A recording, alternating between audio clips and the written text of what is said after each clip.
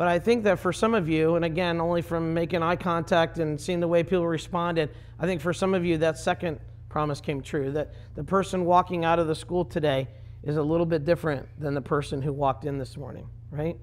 And you know a little bit more about God's love for you, and you've responded to that. So if you guys every day can just be open to God's love for you and then respond to it, you know, even if we never see each other in this world, we will see each other forever in heaven. Amen?